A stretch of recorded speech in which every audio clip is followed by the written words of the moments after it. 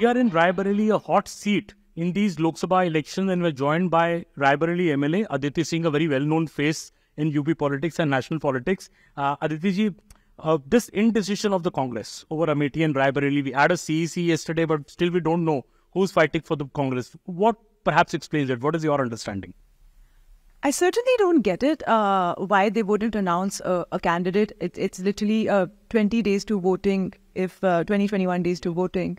Uh, and this is uh, certainly uh, unprecedented. And given that you're the incumbent, the fact that you're still not announcing a candidate is is also um, shows lack of confidence, if you will. It it, it shows how scared you are uh, uh, perhaps uh, to, to, to, to sort of announce a candidate or to uh, come fight from here.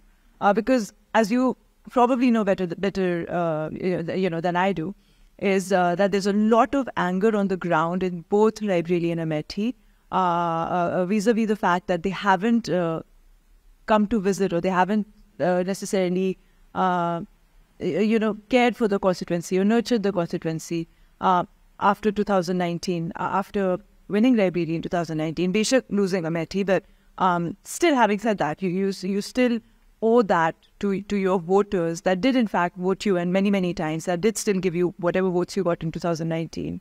Uh, uh, you, you do owe them that. And the fact that they just have not been back um, in, in, in their respective constituencies uh, has, um, uh, you, you, know, uh, there's a lot of anger uh, towards them for that particular issue. Um, so I don't know why. I don't even know if they will contest from here or not, or if it's going to be some dummy candidate uh, uh, from their end. Uh, time will tell. Priyanka Gandhi Vadra, and you have earlier worked closely with, her in the past when you were the Congress party. Uh, there has been so much speculation about her political debut. We heard it is the last elections. Now we're hearing that she may replace her mother from Raebareli. Do you think it will make a difference? You know, as you say, there are people are angry. Do you think if, if Priyanka comes, people will maybe go back to the Gandhi family to vote for them? Will that happen? See, the one thing I know uh, better than to do is obviously uh, predict uh, electoral politics and uh, you know public elections. Uh, but as as was seen in my election, I mean, I, am literally just if I just talk facts and figures and numbers. Uh, in 2022, four out of five seats from the Lok Sabha constituency, Raebareli, uh, went to the Samajwadi Party. Uh, uh, uh my seat came to the Bharatiya Janata Party. And uh, on most seats, Congress Party couldn't even save their deposits. You know, so these are obviously all telling trends. Sonia Gandhi's margin was the lowest it has ever been ever since she started contesting from from Raebareli uh, in the last Lok Sabha election. But things were not good even in the last elections for Congress in Raebareli, the Lok Sabha. They weren't. Do you remember? Uh, the margin had come down. Gee, the margin had come down significantly from, mm. from the, the election before in 2014. Um, so I and and uh, exactly like you said, rightly said that uh, her um, you know uh, uh, impending electoral debut has been you know the, the the debate has been going on for decades now. Um, पिछली पंचवर्षी से तो था ही उसके पहले भी and I remember back even in my father's time uh, that she will contest and this and that and so on and uh, uh, you know eventually she hasn't um, so uh, that's for time to tell and that's their own uh, strategy and uh, own decision making in terms of whether or not she does decide to contest. I was I was going around in, in Raebareli constituency speaking to people so people say okay if Rahul Gandhi's nomination is delayed because he's contesting Wayanad maybe explain that they want to. But why delay the contest from Raebareli? It's not that Priyanka Gandhi is going to contest from two seats, is it? No, absolutely. Uh, to be very honest, I'm just as confused as you are as to why the Congress Party uh, would delay it so much. Um, because I, I, I, I think they probably, I mean, if I was to just logically guess, uh, they're probably very, very confused and very, very scared when it comes to Uttar Pradesh because this is a state where they are practically wiped out um, as you know, from, from the assembly, from the Lok Sabha, from any kind of uh, uh, panchayati or nagar nikai, mm. uh, pretty much, pretty much a wipeout. So I, uh, you know, I'm, I, I would imagine that they're just very, very nervous uh, about taking this call.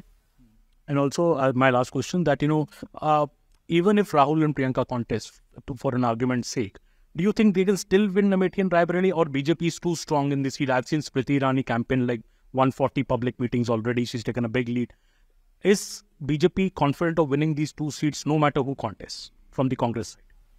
Uh, definitely, definitely. Uh, all the reports have come back very, very positive. I mean, uh, uh, uh Amethi, uh, uh, you know, um, um, Mrs. Smriti Irani, Honorable Minister, created history in 2019.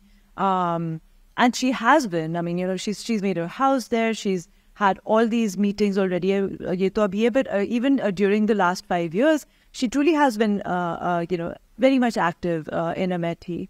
Uh, she she's been in and out a lot. She's visited her constituency, nurtured her constituency a lot. Um, so I, I certainly think that uh, uh, it should be very very positive for for, for the BJP. Yeah, I think the biggest factor also in these elections, as I move around UP, is the Modi Yogi factor. You know, many people speak about not less about the candidate in this election, more about the Modi factor, the Yogi factor. I think that is overwhelming uh, the people here when it comes to voting, isn't it? Absolutely. I mean, I really, um, especially when it comes to Uttar Pradesh, because your double engine ki sarkar hai, uh, a face like our honorable prime minister, and then a, a face uh, like our honorable chief minister, who's changed, uh, you know, the situation of law and order and so many other things. Um, law and order being one of the biggest factors for myself as a woman, also, uh, and all for in general voters and especially women voters. Um, it, it's been game changing, absolutely, in Uttar Pradesh.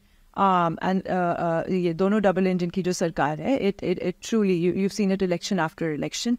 Uh, sometimes the voter may be more silent, sometimes more aggressive, but end of the day अंतोगत्ता जो result आ रहे हैं 2014 से 2014 happened and there's been no looking back for for us for the Bharatiya Janata Party. That's Tarun Singh clearly saying that whoever may contest for Amethi and Raebareli for the Congress, the BJP chances of winning both these pocket boroughs of the Congress are very very strong this time. Also saying that the overwhelming factor in these elections, obviously, is the Modi and the Yogi factor. Saman Sharma with Arjun Singh for CNN News 18 from Raebareli.